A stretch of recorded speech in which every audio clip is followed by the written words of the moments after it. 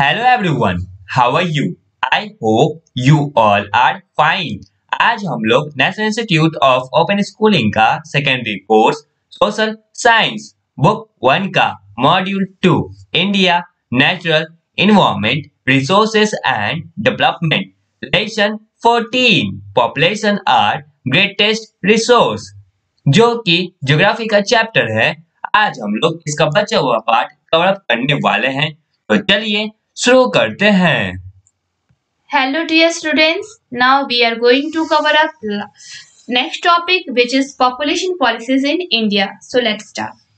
Do you know that discussions on population growth and the need to adopt a population policy had begun in India even before independence? A subcommittee on population was set up by the National Planning Committee appointed in 1938 by the interim government. This committee, in its resolution in 1940, said, in the interest of social economy, family happiness, and national planning, family planning and a limitation of children are essential. क्या आप जानते हैं कि जो population growth है और इस पे कौन सी पॉपुलेशन पॉलिसी को अडॉप्ट करना चाहिए ये सब जो बातें हैं वो इंडिपेंडेंस के पहले स्टार्ट हो चुकी थी एक सब कमेटी बैठाई गई थी पॉपुलेशन के ऊपर नेशनल प्लानिंग कमेटी जिसे अपॉइंट किया गया था 1938 में इंट्रीम गवर्नमेंट के द्वारा।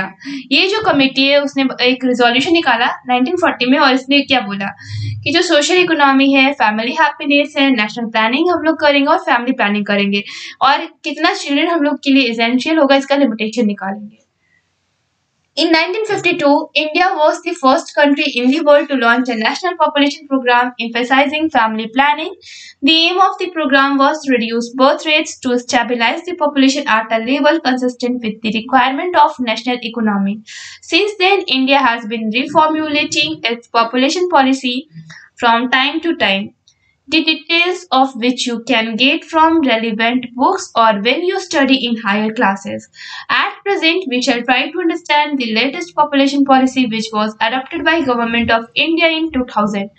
1952 में इंडिया एक पहला देश बना पूरे विश्व में जिसने नेशनल पॉपुलेशन प्रोग्राम को और लॉन्च किया फैमिली प्लानिंग के साथ में इसका जो एम था इस प्रोग्राम का वो क्या था कि बर्थ रेट को रिड्यूस करना मीन्स उसको कम करना जैसे जो पॉपुलेशन का जो लेवल है वो स्टेबिलाईज हो सके और जितना हमारे नेशनल इकोनॉमी को रिक्वायरमेंट है। इंडिया जो है, उसने रिफॉर्मुलेट किया अपने पॉपुलेशन पॉलिसी को समय समय पे, और इसका जो डिटेल्स है, आप रेलिवेंट बुक्स में, मैं उससे संबंधित बुक्स में पा सकते हो, और या फिर आप हायर क्लासेस में इसके बारे में पढ़ने वाले हो। हम लोग प्रेजेंट में हम लोग ये देखने की कोशिश करेंगे कि जो लेटेस्ट पॉपुलेशन पॉलिसी है, जो कि गवर्नमेंट के द्वारा इंडियन गवर्नमेंट के द्वारा अपनाया गया 2000 में, वो क्या है। National Population Policy, which is also known as NPP 2000. The National Population Policy 2000 has made a qualitative departure in its approach to population issues. It does not directly lay emphasis on population control. It states that the objective of economic and social development is to improve the quality of lives that people lead, to enhance their well-being and to provide the opportunities and choices to become productive assets, resources in the society. Stabilizing population is an essential requirement for promoting sustainable development. The immediate objective of the NPP 2000 is to address to unmet needs for contraception, healthcare infrastructure, and health personnel, and to provide integrated service delivery for basic reproductive and child health care. The medium term objective is to bring the total fertility rate TFR to replacement levels by 2010 through vigorous implementation of intersectoral operational strategies. The long-term objective is to achieve a stable population by 2045 with sustainable economic growth, social development and environmental protection. Sorry, protection. ये जो national population policy है जिसे 2000 में start किया गया था जिस आ, कुछ इसमें चेंजेस लाए गए थे पॉपुलेशन इश्यूज़ को लेकर के। इसमें जो डायरेक्टली है, इसमें पॉपुलेशन कंट्रोल के ऊपर ज़ोर नहीं डाला गया है, ठीक है? इसमें बोला गया है कि जो इकोनॉमिक और जो सोशल डेवलपमेंट है, उसके क्वालिटी को इम्प्रूव करना है, लोगों की लाइफ को इम्प्रूव करना है। और लोगों की वेलबिंग के लिए ये बहुत सारे ऐसे अपॉर्चुनिटीज़ प्रोवाइड कर रहे हैं, जिसकी वजह से जो हमारी सोसाइटी है, उसका जो प्रोडक्टिव एसेट्स है, वो एज अ रिसोर्स वर्क कर रहा है। ये जो स्टेबलाइजिंग पॉपुलेशन है, हम लोग कोशिश कर रहे हैं मीन्स हमारी जो गवर्नमेंट है, वो क्या कोशिश कर रही है हमारे पॉपुलेशन को स्टेबलाइज करने के लिए? जिससे कि हमारा जो सस्टेनेबल डेवलपमेंट है उसका प्रमोशन हो सके। ये जो इमीडिएट ऑब्जेक्टिव है एनपीपी 2000 का इसमें क्या है कि आप इसमें देखोगे तो कॉन्ट्रासेप्शन मेथड है हेल्थ केयर इंफ्रास्ट्रक्चर है हेल्थ पर्सनल है एंड इसमें आपको आ, कुछ सर्विस भी दे, आ, दिया जा रहा है मीन्स इंटीग्रेटेड सर्विस डिलीवरी दिया जा रहा है इसमें आप बेसिक रिप्रोडक्टिव और चाइल्ड हेल्थ केयर को देख सकते हो।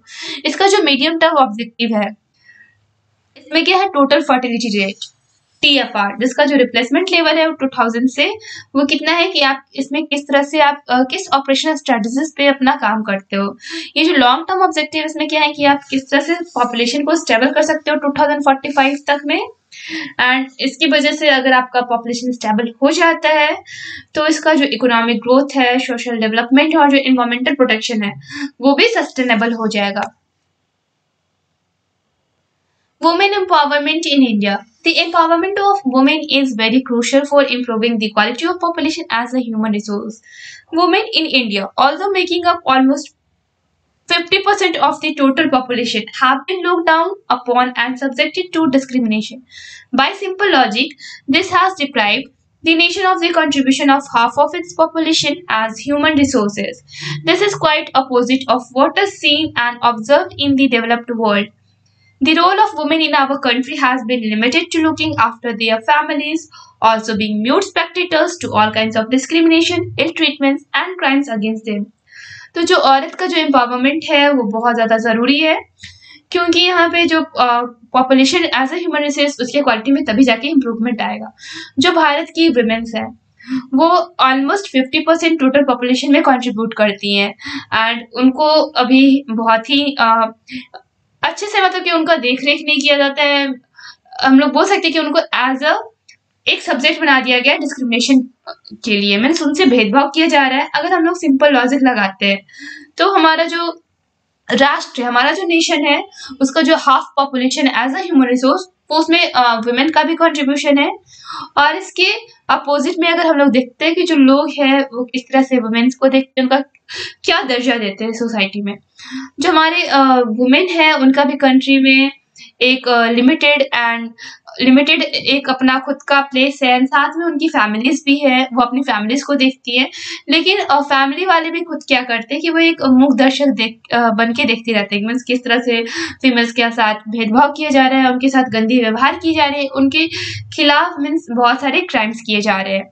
If you go through the Indian Constitution, you will find that in its Articles 14, 15, 16, 19, 39, 42, 51e, provisions have been made to ensure justice and equality to all. Many laws have been passed like Special Marriage Act 1954, Medical Termination of Pregnancy Act 1971 and Child Marriage Restraint Act Amendment 1978. Yet the status of women continues to be a matter of great concern. अगर आप भारतीय संविधान के articles को देखते हो, जो कि चौदह, पंद्रह, सोलह, उन्नीस, उनचालीस, बयालीस, इक्यावन, इसमें आप प्रोविजंस देखते हो। ऐसे बहुत सारे प्रोविजंस बनाए गए जहाँ पे औरतों के लिए न्याय और बराबरी का आपको देखने के मिलेगा कि वहाँ पे इंडियन कॉन्स्टिट्यूशन में लिखा गया है। बहुत सारे ऐसे कानून भी बनाए गए और पास भी किए गए जिसमें स्पेशल मैरिज एक्ट है, उन्नीस सौ चौवन मेडिकल टर्मिनेशन है प्रेगनेंसी का एक एक्ट है 1971 का है, और एक चाइल्ड मैरिज रिस्ट्रेनमेंट एक्ट है, जिसका 1978 में किया गया है। इन सब के बावजूद जो वुमेन का स्टेटस है, हमारे सोसाइटी में वो भी एक बहुत बड़ी चिंता का विषय बना हुआ है। Some steps have been taken and it is hoped that there will be qualitative change in the status of women. The empowerment of women received a major boost when the 73rd and 74th constitutional amendments providing 33% reservation of seats for women in Panchayati Raj institutions and urban local bodies were passed by the parliament. Another constitution amendment bill has been introduced which aims at providing 33% reservation for women in the House of the People and state legislative assemblies. A National Commission for Women came into existence in 1992. Through an act passed in 1990, wide-ranging functions have been assigned to the Commission to uh, look into and investigate into any ill treatment brought to their notice against women and to safeguard their interest.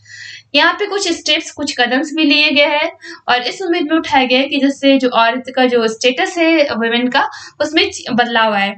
यहाँ पे आपको seventy third और seventy fourth constitutional amendments दिखेंगे आपको, जिसमें women के empowerment के लिए काम किया गया है। इट मीन्स जो panchayati raj institution and urban local bodies है, वहाँ पे thirty three percent reservation seat का औरतों के लिए पार्लियामेंट में, ठीक है? ये पार्लियामेंट के द्वारा ये लॉ पास किया गया है।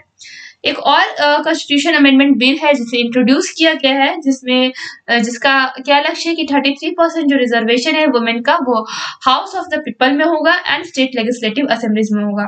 एक नेशनल कमीशन है वुमेन के लिए, जो भी एग्जिस्टेंस में आने आया है 1992 से, एक एक्ट पास हुआ था 1990 में। इसमें बहुत सारे ऐसे फ़ंक्शंस हैं, जैसे अजाइन किए गए हैं कमीशन बैठाए गए हैं, जिसमें जितना भी जो इल ट्रीटमेंट किया जाता है वेमेन्स के साथ, उसे नोटिस करना एंड जो भी वेमेन का इंटरेस्ट है, उसे सेफ़ गार्ड करना, में सुरक्षित करना। The ultimate objective is to facilitate the advancement, development, and empowerment of women and to eliminate all forms of discrimination. These steps will also ensure that uh, their active participation in all spheres of life and activities. You can read, learn, and understand about the need of women empowerment and its efforts made more in detail in the lesson Socio-Economic Development and Empowerment of Disadvantaged Groups. तो इसका बहुत सारे ऐसे objective है, जिसके वजह से जो वुमेन का जो भी हमारा स्टेटस है, उसमें एडवांसमेंट डेवलपमेंट एंड एम्पावरमेंट की बातें चल रही है एंड उनको जितने भी उनके साथ डिस्क्रिमिनेशन किए जा रहे हैं, उन डिस्क्रिमिनेशन को एलिमिनेट करने की कोशिश की जा रही है। ये जो स्टेट्स है, उससे ये इंश्योर किया जा रहा है कि जो वुमेन्स है उनका एक्टिव पार्टिसिपेशन हो मीन्स जितने भी लाइफ और एक्टिविटीज़ है, उनमें वो एक्टिवली पार्टिसिपेट करें। आप इनके बारे में डिटेल से पढ़ोगे और समझोगे कि किस तरह से वुमेन एम्पावरमेंट ज़रूरी है और किस, और कौन कौन से इसकी ओर प्रयास किए जा रहे हैं, जो कि लेसन है हमारा socio economic development and empowerment of disadvantage groups इस लेसन में आप लोग इसके बारे में डिटेल से जानकारी प्राप्त करोगे। And now based on your understanding try to solve in text question 14.5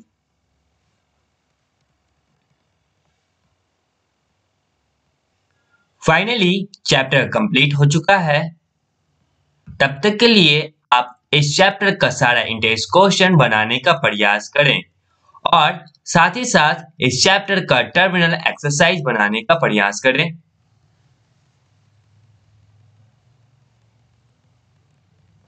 यहाँ से सारे इंटेक्स क्वेश्चन का आंसर दिया गया है। पहले खुद से बनाने की कोशिश करें, फिर आंसर की हेल्प लें।